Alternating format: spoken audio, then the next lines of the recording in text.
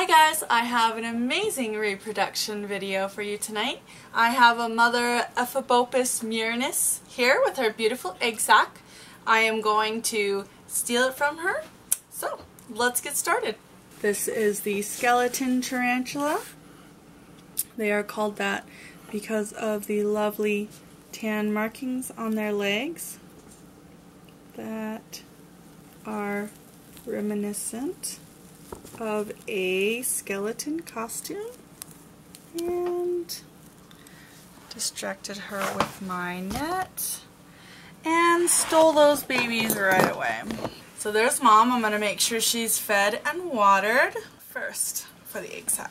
Upon initial inspection, this sac feels light and fluffy. This is five weeks old and the eggs feel nice and loose. These should be first instar slings at this point. Not there yet. There we go.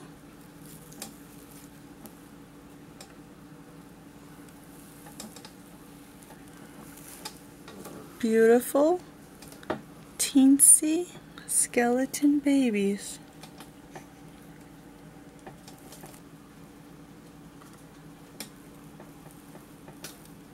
Can see these little bits here are uh, their first molts from the eggs with legs stage to where they are now.